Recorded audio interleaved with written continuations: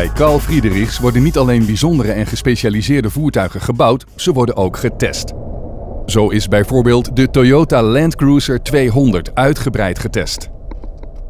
Ter vergelijking, het gepantserde voertuig van ongeveer 4 ton en het ongepantserde productievoertuig van ongeveer 2,6 ton.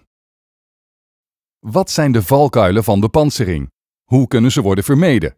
Waar kan worden geoptimaliseerd? We hebben gebruik gemaakt van een goede mogelijkheid. We hebben twee studenten ontmoet die aan de University of Applied Sciences in Frankfurt studeren. En voor hun bachelorscriptie hebben ze ook praktisch werk nodig.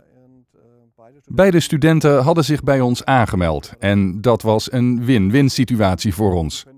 We waren in staat om beide studenten te helpen het praktijkwerk met interessante opdrachten te voltooien. En we nemen eraan deel dat we de resultaten heel goed kunnen gebruiken voor onze ontwikkeling van gepantserde voertuigen. De belangrijkste focus van de tests lag op twee onderwerpen. In de eerste plaats moest de rijdynamiek van beide voertuigen worden vergeleken. Deze omvatten acceleratiemetingen en remtests.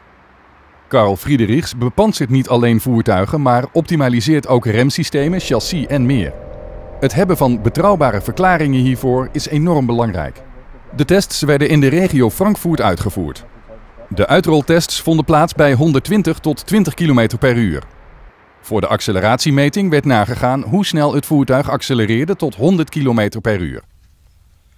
De remtests werden uitgevoerd met noodremming bij 100 km per uur en een maximale druk van gemiddeld 500 newton. Zowel met als zonder remversterker.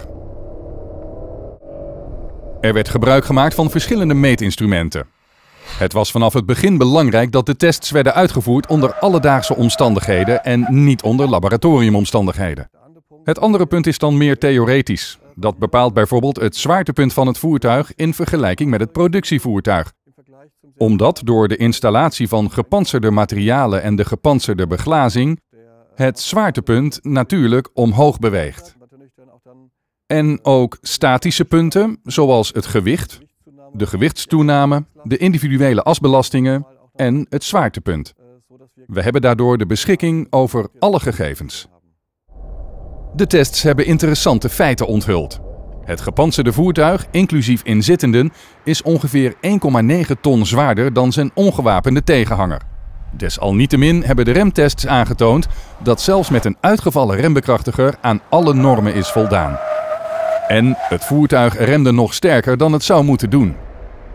De acceleratietests hebben aangetoond dat terwijl het voertuig langzamer accelereert, het gevoel van veiligheid als gevolg van het algemene gevoel in het voertuig tegelijkertijd erg sterk is toegenomen. Ondanks het hogere gewicht is de kantelhoek vrijwel ongewijzigd. De zwaartepuntverschuiving van het voertuig vond plaats aan de achterzijde. We bedanken de studenten voor hun inzet. Ik bedank ook mijn medewerkers voor de voorbereiding van de voertuigen. Zo hebben we een win-win situatie. De studenten waren in staat om het praktische werk goed voor te bereiden op hun bachelorscriptie.